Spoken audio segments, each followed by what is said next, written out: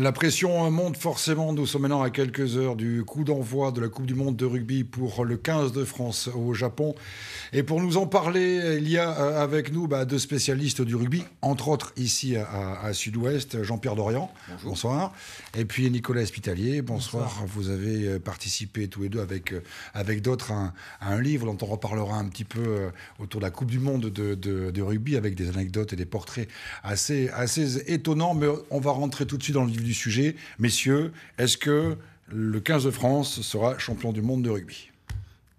Qui, qui, qui, use du joker en premier ah Non, non, pas de joker, monsieur. Le joker sur le The Unpredictable French, c'est comme ça qu'on dit Ah ouais euh, bon, Jusque-là, il y, a eu 8 il y a eu 8 compétitions et on l'a jamais gagné. Donc ce serait quand même déjà un exploit. Et quand on considère ce qui s'est passé ces quatre dernières années avec deux sélectionneurs, alors que d'habitude il y a eu 4 ans avec un seul sélectionneur, Bon, et 36% euh, de victoire, euh, ce qui est quand même le plus faible ratio. Vous, ne, vous, ne, le dites pas, vous, n'y croyez il pas. Pas dit. Alors moi, je vais, le dire. Moi, je vais dire. Moi, je vais dire non. Ah voilà. non non non, c'est pas possible. C'est objectivement pas possible à la fois parce que pour les raisons que vient d'expliquer Nicolas, qui est même gentil en disant que c'est depuis 4 ans que le, malaise existe. Il existe depuis plus longtemps que ça. À vrai dire, il existe depuis la dernière finale de que les Français ont joué depuis 2011. Voilà, ça qui était déjà un peu un, qui était déjà l'arbre qui cachait la forêt. Qui cachait la forêt clairement. Voilà. Et, donc, euh, et donc, entre les résultats des Français eux-mêmes, leur niveau global et moyen, leur classement mondial, dont il faut parfois se méfier, mais qui, au final, veut dire ce qu'il veut dire, c'est-à-dire aujourd'hui, la France est 6e, 7e, 8e nation mondiale. Euh, donc il y a eux et il y a les autres. C'est surtout que pour être champion du monde, il faut battre. Euh, là aussi, Nicolas l'a dit, euh, c'est arrivé dans, l'histoire des Coupes du Monde que la France batte une grosse nation. Elle n'a jamais réussi à en battre deux d'affilée. Et là, il faudrait en battre trois. Donc ça va être très très compliqué, pour pas dire impossible. Merci beaucoup. Euh, cette émission est terminée. Mais quand même, malgré tout, euh, il y, a eu. Euh, bon, c'est vrai que c'était le, tour de destination, c'était une, catastrophe. À peu près. On, est d'accord. Il y a eu des matchs après de préparation qui ont un petit peu rassuré, ou là aussi c'était un peu une, fausse image de l'équipe de France Parce qu'on a eu des espoirs, les matchs de préparation. On s'est dit, ah tiens, ça y est, il se passe un truc. Oui, mais là, il faut considérer la faiblesse quand même relative de l'adversaire. C'était pas non plus. Autant l'Irlande en 2011, contre qui on avait largement rivalisé, c'était quand même costaud. Ils allaient battre l'Australie. Bon, là, cette fois, c'est quand même pas non plus. Euh, c'est les deux plus faibles nations d'Europe. ne vont pas battre grand monde, donc on peut le craindre. Mais euh, enfin, c'est Oh, ça va de mal en pis depuis, vous euh, êtes si longtemps. Qu'est-ce qui se passe Non, non, parce on, que est, on est à, quelques heures d'une Coupe du Monde. Là où il faut pondérer, il y a, là où il y a un petit espoir à, voir les Français déjà, euh, enfin, il ne faut pas le perdre de vue, mais ça c'est la vérité. Même la France se porterait à merveille qu'elle serait quand même dans la poule de la mort, hein, parce que quand on a dans la même poule l'Angleterre et l'Argentine, qui sont deux nations du top mondial, la première règle, c'est d'en sortir. Alors là où l'ambition de l'équipe de France a changé au fil du temps, c'est qu'effectivement, c'est très clairement affiché quasiment comme la seule ambition, c'est de sortir de cette poule. là où je pondère, et enfin, je pense que Nicolas, là pour la peine, sera d'accord avec moi, c'est qu'il s'est passé visiblement un petit quelque chose quand même durant cette préparation. C'est que ah. le staff de l'équipe de France a changé considérablement. C'est-à-dire que. Il y a des renforts. Pour, pour, paradoxal que ce soit, le futur sélectionneur du 15 de France a déjà intégré le staff en devenant l'adjoint de Jacques Brunel, c'est Fabien Galtier. Fabien Galtier qui est venu avec euh, quelques-uns de ses futurs euh, proches collaborateurs donc de l'après 2019 et en vue de 2023, parce qu'on va sûrement en reparler là aussi, mais finalement le plus gros enjeu de cette Coupe du Monde 2019 pour la France, c'est de préparer 2023 et le Mondial en France. Et donc Fabien Galtier est venu avec euh, Laurent Labitte, avec Thibaut Giroud, son préparateur physique. ce, sont, ce sont des gens qui ont... ça apparaît à peu près visible amener une, forme d'enthousiasme que cette équipe de France n'avait plus depuis trop longtemps. Voilà, le discours de Jacques Brunel, euh, visiblement, souffrait. Là, ça semble au moins avoir eu cet effet-là. On va le vérifier maintenant sportivement. Vous l'avez dit, le mal, le mal est profond. Il vient d'où? Qu'est-ce que c'est? Qu'est-ce qui se passe? C'est les égaux? C'est quoi? Le... Il suffit qu'on compare ce que nous avons vécu l'un puis l'autre comme reporter de, rugby pour Sud-Ouest. J'ai succédé à Jean-Pierre en 2008. Lui, il a vécu, euh, on va dire, les huit années du mandat de la porte et avait déjà commencé avant. Il a vécu euh, quatre victoires dans le tournoi sur 8, des grands chelems, bon, les, deux échecs en demi-finale contre l'Angleterre, mais euh, ces années-là, c'était des années où la France euh, dominait. Et, moi qui lui ai succédé, j'ai vu des choses qu'on n'aurait jamais pu croire du temps où il couvrait le, 15 de France pour Sud-Ouest. Les Fidji, le Japon, les Tonga. On a vu des trucs à domicile, le, Japon et les Fidji. Des trucs inattendus. Enfin, donc, ça veut dire que ça marque un recul. Les difficultés de l'équipe de France, c'est à cause de vous. C'est depuis que vous, euh, ça coïncide. Cette chance, ça coïncide. donc ça a commencé là. c'est là que ça a commencé. Le vrai problème si de l'équipe de France, euh, c'est Nicolas. Les, les, deux envoyés spéciaux actuels donc ont une lourde responsabilité oui, aussi. Ça. Euh, oui, deux, On pense à Arnaud David et Denis Capes-Granger qui sont au Japon. Alors et donc vous pouvez retrouver les articles tous les jours dans, dans, dans, dans Sud-Ouest avec les, les à côté du club, les entraînements. Enfin bon, voilà. C'est vraiment, c'est vraiment plutôt sympa. Qu'est-ce qui se passe C'est vrai, c'est-à-dire qu'effectivement, sorti de cette décennie, alors la grosse décennie, moi que j'ai eu la chance de, couvrir, mais euh, comme le dit Nicolas, c'est la vérité sur, euh, sur la période où, euh, entre 97 et 2007, en gros, où moi, j'ai vu l'équipe de France gagner deux, grands chelems à 5, deux, grands chelems, au moins, au moins deux grands chelems de plus à 6, mmh. être à minima sur toutes les Coupes du Monde où j'ai été en demi-finale ou en finale et souvent très près, toujours très près euh, de, de l'emporter ou d'être en, tout cas toujours compétitive. Voilà. Le fait est que depuis 2011, euh, euh, Nicolas y était. c'est un miracle que la France sorte de poule à l'époque, voilà, pour finalement échouer en finale qu'elle aurait mérité de gagner.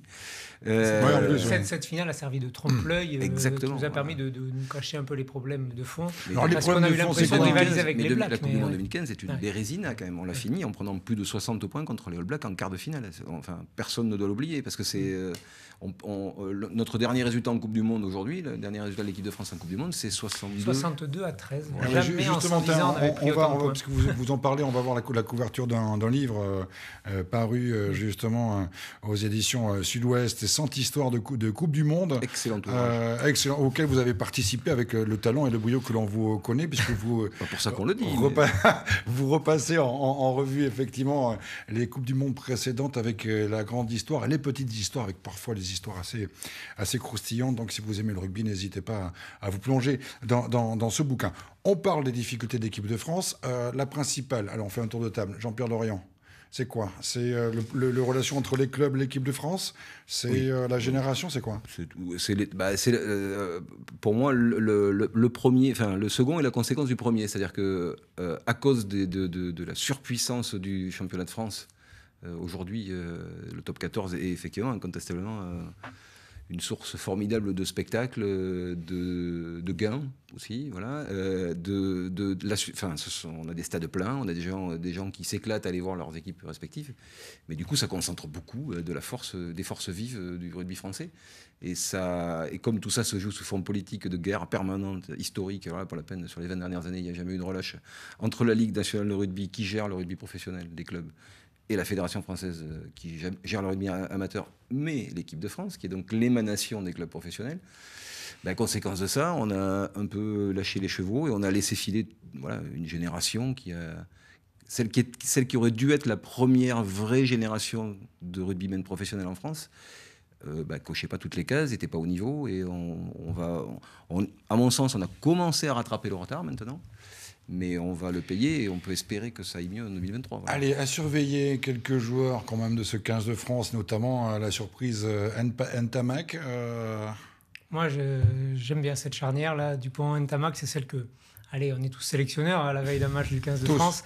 Donc moi, c'est celle que j'aurais pu mettre, sauf si Jalibert, le petit Béglé, qui est assez brillant, mais en top 14, pas était là. Pas Trenduc, quand même. Non, pas Trenduc. Vous avez, je connais la version de Jean-Pierre. Pour... Euh, Jean-Pierre, il y a un problème. Trenduc, euh, c'est un, un, gimmick et une, une histoire. Mais c'est un des joueurs, selon moi, mais pas, il n'est pas le seul, mais c'est un des joueurs symbole de cette génération, donc un peu perdue. Euh, on peut qualifier de génération de losers. Euh, Nicolas a donné les chiffres. Hein. c'est des, des, gens qui, en équipe de France, ont connu la victoire une fois sur trois, donc la défaite deux fois sur trois.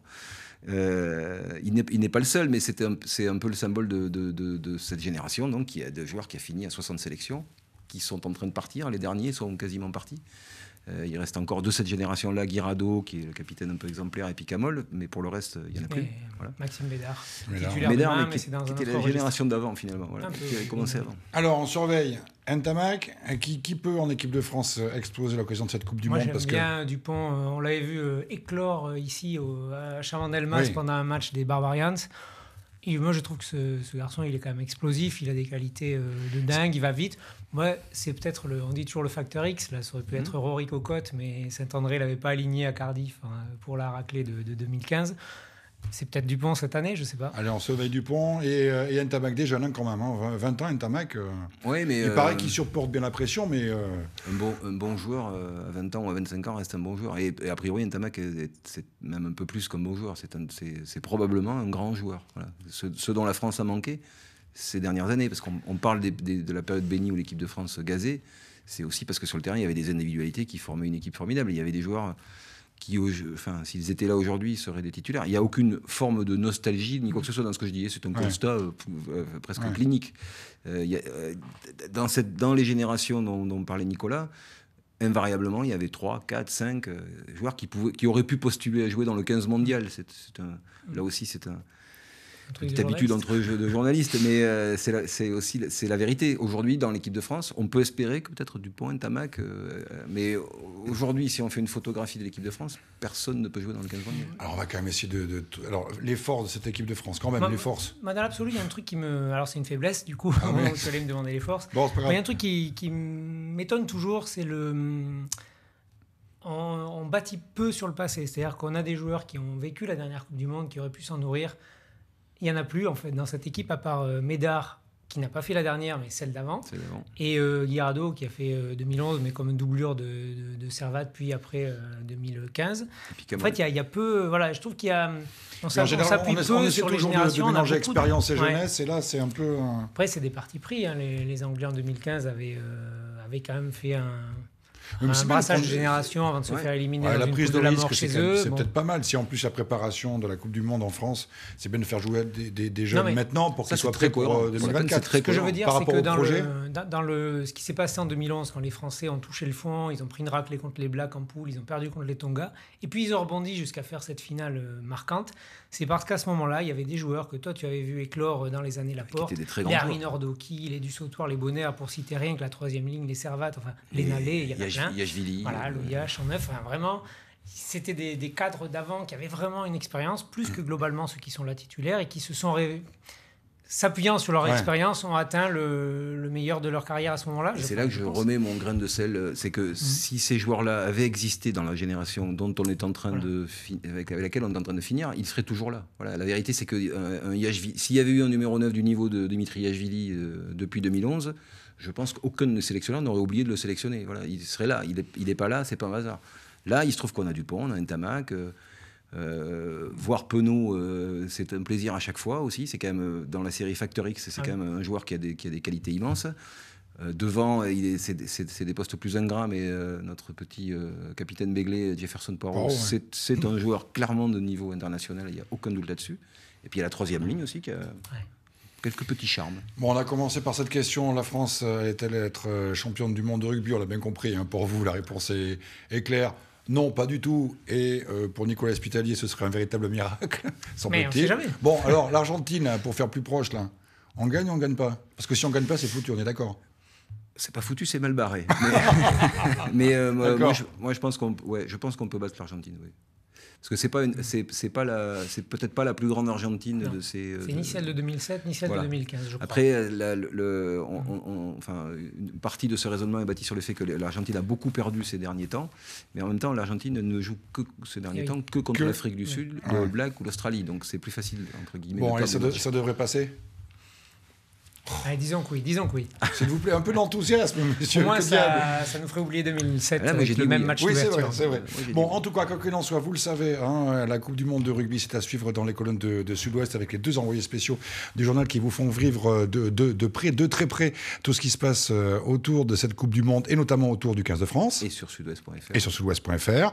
Il y a également à ne pas, à ne pas manquer euh, ce week-end un Sud-Ouest euh, consacré, le mag, le Ce samedi à la une, on retrouve Albert Ferrand ah oui, le, père, de la Coupe du Monde. Ah oui, parce que tout est né ici, dans le coin. On raconte comment les Agenais, la connexion à Genèse a, créé ça. Et puis euh, également, euh, messieurs, on peut vous retrouver dans cet ouvrage dont on a parlé tout à l'heure, hein, les, 100 euh, histoires de Coupe du Monde avec les journalistes de, Sud-Ouest qui, ont, bah, qui reviennent sur toutes les Coupes du Monde passées. Et si tu me permets, j'ajouterais, on a en kiosque avec une une bleue et le titre Banzai, un hors-série qui nous raconte, qui avec des reportages au Japon et l'essentiel à savoir sur cette Coupe du Monde au moment où elle démarre. Voilà, bah écoutez, le rugby, c'est dans les colonnes de Sud-Ouest et c'est du coup aussi sur TV7. Merci, monsieur. Merci. Allez, la France quand même. Allez, le bleu.